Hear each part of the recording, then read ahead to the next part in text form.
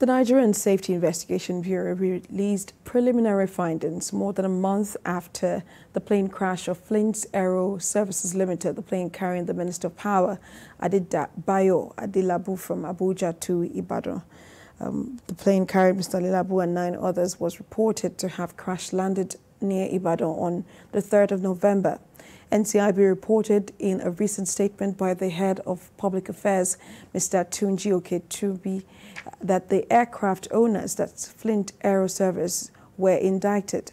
The Bureau disclosed that the airline entrusted with the minister's flight from Abuja to Ibadan Airport was issued a, not, a permit for non-commercial flights, which strictly prohibited using the aircraft to fly passengers, cargo, or mail for hire or reward.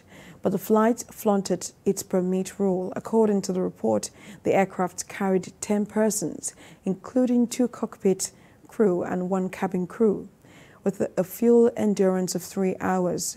According, according to the report, it also revealed that the crew lacked sufficient experience in nighttime flight operations and the airline faced allegations of violating its air operator certificate issued by the Nigeria Civil Aviation Authority.